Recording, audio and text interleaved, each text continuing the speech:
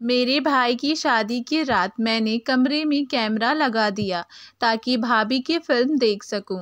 जैसे ही भाई भाभी के पास आया, मेरी चीख निकल गई। भाई ने तो भाभी के साथ पूरी रात रहे थे और मैं खामोशी से कैमरे में आया और मैंने अपना लैपटॉप निकाला और गोद में रख लिया।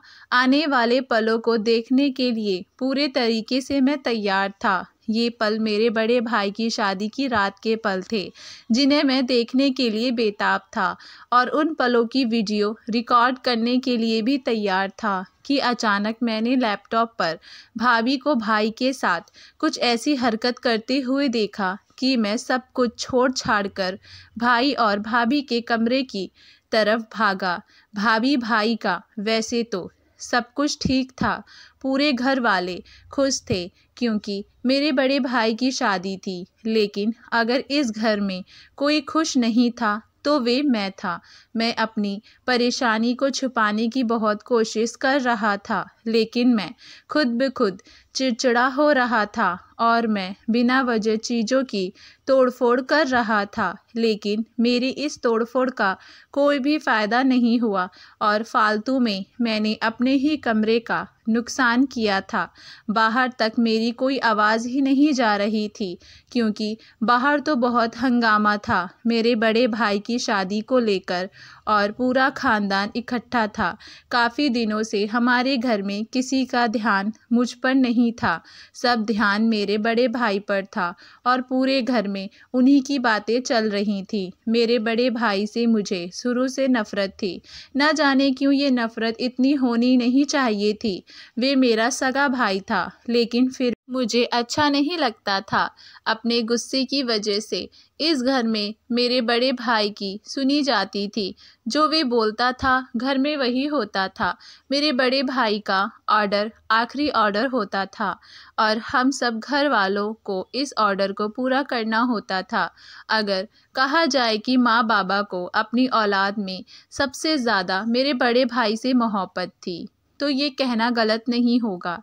हालाँकि मैं छोटा बेटा था और छोटा बेटा लाडला होता है। लेकिन यहाँ तो गंगा उल्टी ही बह रही थी। शुरू से बड़े भाई को ही अहमियत दी जाती थी, लेकिन आज उनकी शादी की वजह से कुछ ज़्यादा ही अहमियत उन्हें मिल रही थी और ये मुझसे बर्दाश्त नहीं हो रहा था।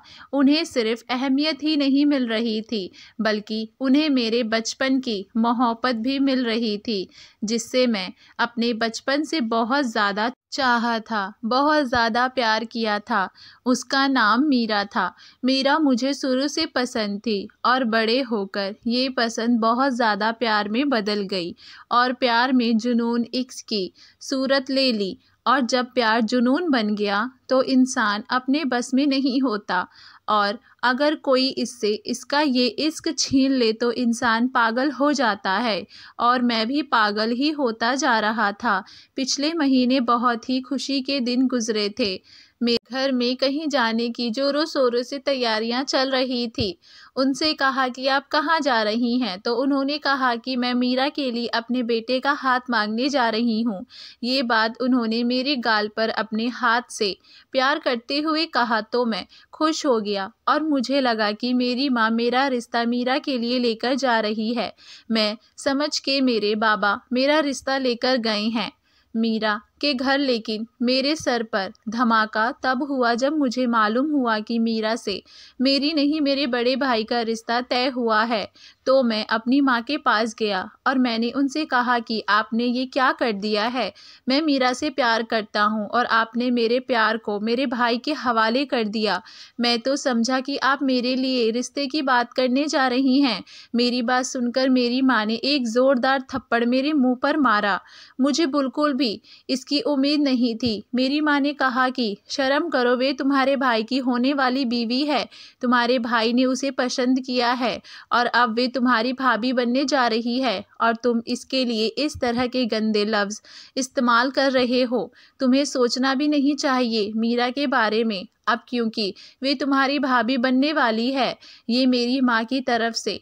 पड़ा हुआ थप्पड़ नहीं था। ये थप्पड़ तो जैसे किस्मत ने मुझे मारा था। इस थप्पड़ के पड़ने के बाद मैं गुस्से में आ गया। और मुझे कुछ समझ में नहीं आया। मैं क्या करूँ? मैं कुछ देर के लिए घर छोड़कर चला गया, लेकिन किसी को कोई फ़र्क ही नहीं पड़ा था। मेरे माँ बाप मुझसे नाराज़ थे, और अभी तो बड़े भाई को मालूम भी नहीं था कि मैं किस बात पर नाराज़ हूँ। कुछ दिन सड़कों की ठोकरें खाने के बाद मजबूरन मुझे घर वापस आना पड़ा, क्योंकि मेरे पास रहने के लिए ठिकाना नहीं था, और मुझे अपने कमरे के बगैर नींद ही नहीं आती थी। लेकिन अफसोस इस बात का था कि किसी को मेरी फ़िक्र ही नहीं थी। हर कोई भाई की खुशी मनाने में बिज़ी था और पूरा घर ऐसे सजा चुका था जैसे शादी वाले घर होते हैं। मैं तो जैसे अंगारों में जल रहा था और मैंने फ़ैसला कर लिया था कि मेरे भाई की शादी को बर्बाद करके रहूँगा। पहले तो ये शादी होने ही नहीं दूँगा और अगर ये शादी गलती से हो भी गई तो इसे कामयाब नहीं होने दूँगा। इसी मकसद के लिए मैंने मीरा को फ़ोन किया। और उससे मिलने को कहा। तो उसने कहा कि वे मुझे नहीं मिलना चाहती। मैंने उसे कहा कि मैं उससे मोहब्बत करता हूँ, उससे शादी करना चाहता हूँ। वे भाई से शादी करने से मना कर दे। लेकिन जवाब में, मीरा ने मुझे जो कहा, उसे सुनकर मेरे होश उड़ गए। मीरा ने कहा, तुम्हारी औकात ही क्या है? तुम्हारे बड़े भाई के सामने। तुम्हारे बड़े भाई की बहुत अच्छी नौकरी है। उसके पास गाड़ी है। वे एक मेहनती इंसान हैं और मुझे पसंद है। मैं बहुत खुश हूँ इस रिश्ते से। और तुम हो क्या अपने बड़े भाई के आगे? दिन रात आवारागर्दी करना तुम्हारा काम है। ना तुम पढ़ाई कर सके, ना कोई मेहनत करते हो। और बात करते हो मुझसे शादी करने की, मुझ जैसी लड़की से। शादी करने के लिए तुम्हें पहले मेरे लायक बनना पड़ेगा। लेकिन अफसोस कि अब तुम्हारी किसी मेहनत का कोई फ़ायदा नहीं है। अब वक्त गुज़र चुका है। हाँ अगर ये रिश्ता तय होने से पहले तुम मेहनत करते, अपने पैरों पर खड़े हो जाते। तो मैं तुम्हारे प्यार को अपना लेती। लेकिन अब तो तुम्हें मेरे बारे में इस तरह सोचना भी नहीं चाहिए। मैं तुम्हारी भाभी बनने वाली हूँ और बेहतर इसी में है कि तुम इस प्यार के रिश्ते को यहीं ख़त्म कर दो। मैं जो पहले से अंगारों में जल रहा था, मीरा दिल रुला देने वाली बातों ने मुझे ज़ख्मी कर दिया था और मैं बिल्कुल टूट सा गया था। अगर उसे मना ही करना था तो वे सही से मना कर सकती थी, लेकिन उसने तो मेरी तोहीन की थी, मेरी बेज़ती की थी, अगर वे मेरी बेज़ती के बगैर मना करती तो शायद मैं मान जाता। लेकिन जिन लफ्ज़ों में उसने मुझे मना किया था, वे मना करना नहीं, वे उसने मुझे दुत्कारा था और मेरी बेइज्जती की थी। मैं वे भूल नहीं पा रहा था। और मेरी हालात ऐसी थी कि काटे तो बदन में खून ना निकले। फिर वे दिन भी आ गया कि मेरे भाई की शादी मीरा से हो गई और अगले दिन उनकी विदाई थी और मैं अपने कमरे के चक्कर काट रहा था। फिर मुझे एक प्लान सूझा, जितनी तकलीफ़ मुझे मिल रही है, मैं इससे कई ज़्यादा तकलीफ़ अपने भाई मीरा और सब घर वालों को देना चाहता था। मैं चुप बैठने वाला नहीं था। मैं फ़ौरन से मार्केट गया और वहाँ से एक ऐसा कैमरा लेकर आया, जो बहुत ही एडवांस कैमरा था। शादी का दिन है तो सब घर वाले शादी में चले गए। पहले मैं भी शादी में गया और जल्दी से नज़रें बचाकर वहाँ से वापस आ गया। पूरा घर खाली था। मेरे भाई के कमरे का दरवाज़ा खुला हुआ था। वे कमरा फूलों की सेज से सजा हुआ था और हर तरफ़ फूल ही फूल बिखरे हुए थे और बहुत ही खूबसूरत लग रहे थे। लेकिन ये खूबसूरत मंज़र तो मुझे अपने अरमानों का जनाजा लग रहा था। मैंने वे कमरा बहुत चेक करने के बाद बेड से बहुत पास एक जगह पर फिट कर दिया था। कैमरा बहुत ही छोटा था, जो किसी के ध्यान में भी नहीं आ सकता था। शायद बहुत ध्यान देने के बाद भी किसी को नज़र आने से रहा।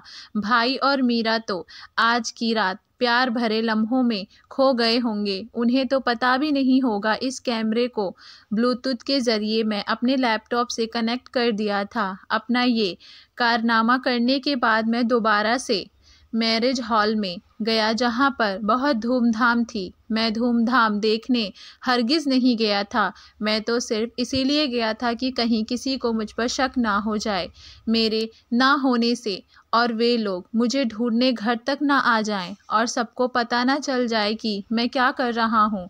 अब मेरे अंदर थोड़ा सुकून आ गया था।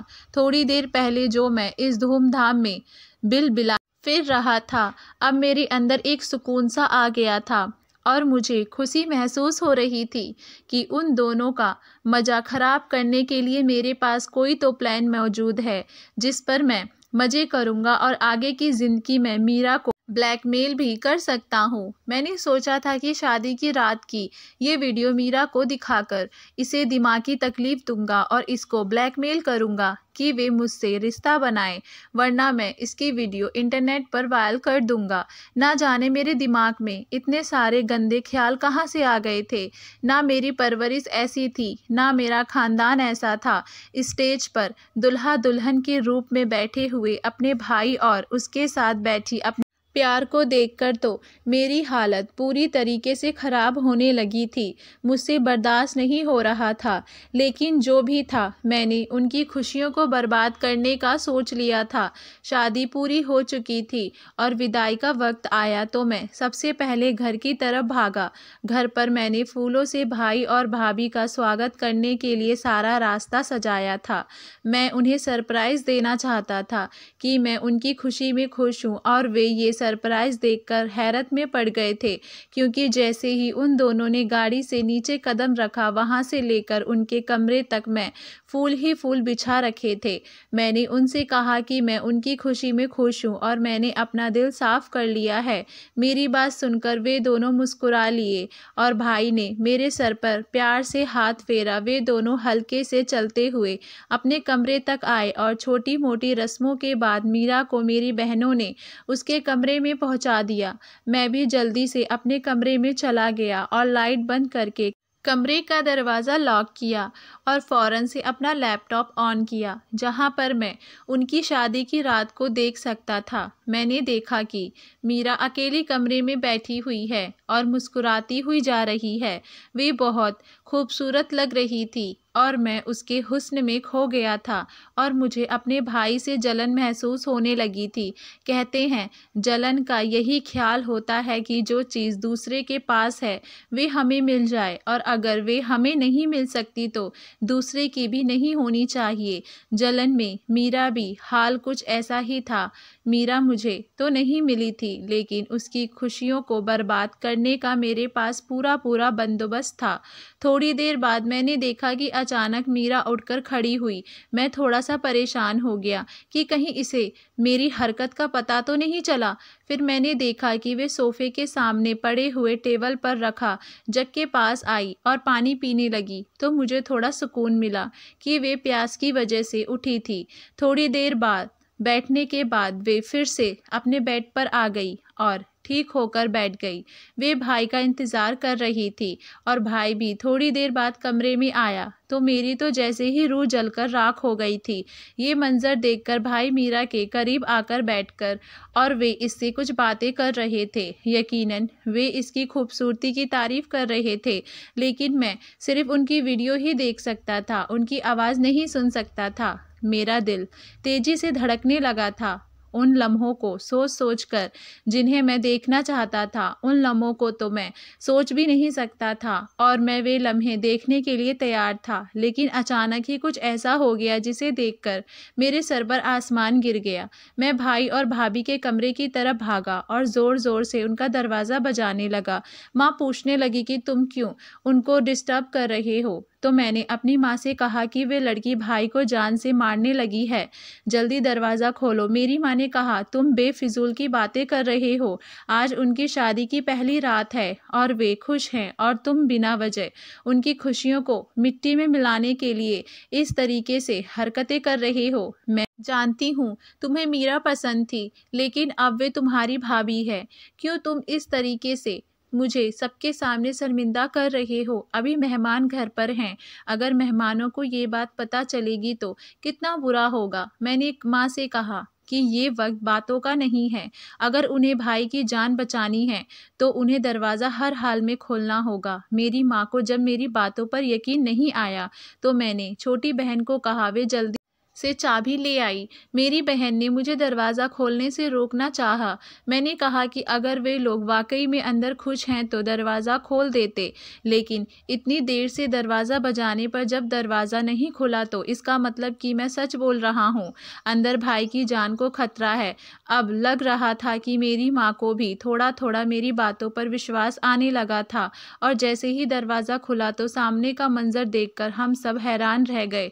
मेरा भाई ज़मीन पर फर्श पर पड़ा हुआ था और उसके सर से खून बह रहा था और मीरा के हाथ पर बंदूक थी और उसने मेरे भाई को गोली तो नहीं मारी थी, लेकिन उसने शायद वही बंदूक मेरे भाई के सर पर मारी थी, जिसकी वजह से वे बेहोश हो गए थे और उनके सर से थोड़ा सा खून बह रहा था। ये मंज़र देखकर तो सब परेशान हो गए, फ़ौरन से भाई को अस्पताल लेकर जाने लगे, लेकिन मेरे बाबा ने डॉक्टर को घर पर ही बुलाने का फ़ैसला कर लिया था। वरना बहुत बदनामी होने वाली थी। थोड़ी देर में डॉक्टर आ गया तो देखा कि मेरा भाई ठीक है। उसको होश में लाने की कोशिश कर रहे थे। सब मीरा को छोड़कर फ़िलहाल भाई की जान बचाने में बिज़ी थे। या भाई की तबीयत।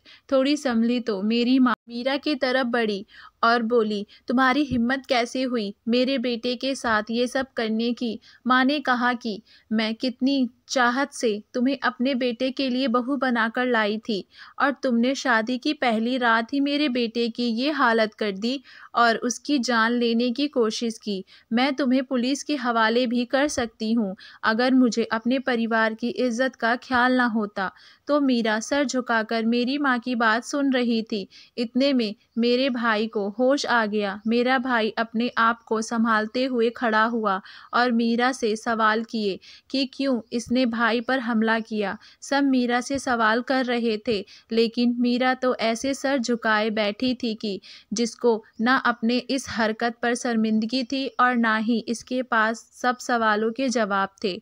मेरी माँ ने कहा कि मुझे परिवार की इज़्ज़त से ज़्यादा अपने बेटे की जान प्यारी है। और बेहतर इसी में है कि इस लड़की को जेल की सलाखों के पीछे भेज दो। इससे पहले कि ये मेरे घर को बर्बाद कर दे, मुझे परवाह नहीं है किसी भी चीज़ की। अभी पुलिस को फ़ोन करती हूँ। मेरी माँ ने अपना मोबाइल उठाया तो मीरा चीख पड़ी और कहने लगी कि ये सब मैंने आपके परिवार की इज़्ज़त बचाने के लिए ही किया है। अगर मैं ये सब ना करती तो आज आप किसी को मुँह दिखाने के काबिल नहीं रहते। और आपका सारा परिवार जलील और शर्मिंदा होकर रह जाता, खासकर आपका ही बेटा, जो आज दुल्हा बनकर अपनी ज़िंदगी की नई शुरुआत करने जा रहा था। इससे क्या मालूम कि इसकी ज़िंदगी आज बर्बाद हो जाती, मेरी नज़र पानी पीते वक्त। कमरे में लगे। इस खुफिया कैमरे पर ना पड़ती तो ऐसा कहकर मीरा ज़ोर से उठी और वहाँ जहाँ मैंने कैमरा फिट किया था, उसने वहाँ से कैमरा खींच कर उतारा और सबके सामने फेंक दिया। सब घर वाले कैमरे को देखकर हैरान थे। किसी की आवाज़ नहीं निकली।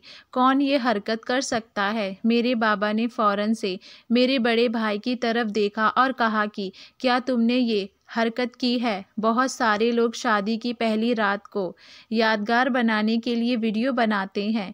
क्या ये तुम्हारी हरकत है? बाबा की बात सुनकर भाई को गुस्सा आ गया और उसने कहा कि उसने ये सब नहीं किया है और इसके बारे में कुछ भी नहीं मालूम है।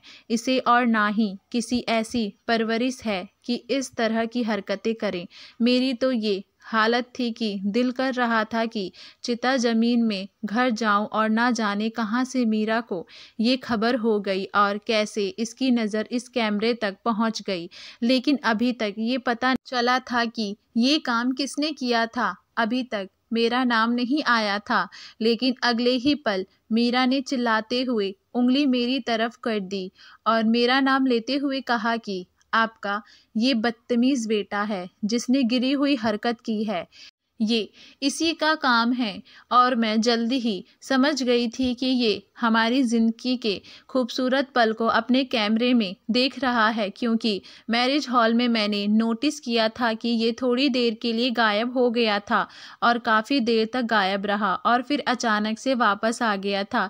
शायद किसी ने ये बात नोट नहीं की थी, लेकिन मैंने ये बात नोट कर ली थी और मैं समझ गई थी कि ये अपनी यही कार्य को अंजाम देने के लिए घर आया था। मैं डर तो बहुत रहा था, लेकिन मैंने मीरा पर गुस्सा करते हुए कहा कि, तुम झूठ बोल रही हो, मुझ पर झूठा इल्ज़ाम लगा रही हो। तुम्हारे पास क्या सबूत है कि ये सब मैंने किया है? मेरी बात पर मीरा ने कहा कि, आए आप सब मेरे साथ। इसके कमरे में चलते हैं। सब दूध का दूध और पानी का पानी हो जाएगा। मीरा काफ़ी रफ्तार से मेरे कमरे की तरफ़ बढ़ गई और उसके पीछे मेरे बाबा भी आने लगे और मेरी तो जैसे दुनिया ही बर्बाद होने जा रही थी, क्योंकि कमरे में मेरा लैपटॉप खुला पड़ा था। मैंने उसका रास्ता रोकना चाहा, लेकिन वे लोग नहीं रुके और मीरा तेज़ी से मेरे कमरे में चली आई, जहाँ लैपटॉप को खुला देखकर सब हैरत में पड़ गए, जहाँ पर भाई के कमरे की तस्वीर थी। सबसे पहला तमाचा मेरे बाबा की तरफ़ से मुझे पड़ा था और फिर मेरी माँ ने भी मुझे थप्पड़ मारा और फिर वे दोनों मुझे मारते ही रहे और मुझे बचाने वाला कोई नहीं था। मेरे सब घर वाले मेरा तमाशा देख रहे थे और शायद सब यही चाहते थे कि मेरे बाबा मुझे जान से मार डालें।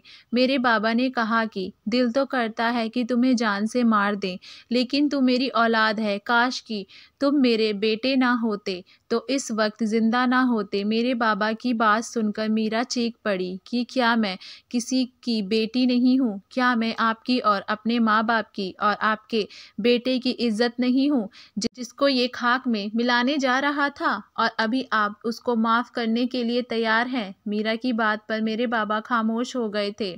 इसी सिचुएशन पैदा हो गई थी कि किसी को कुछ समझ में नहीं आ रहा था। और मेरी ऐसी हालत थी कि मैं अब ज़िंदा नहीं रह सकता था।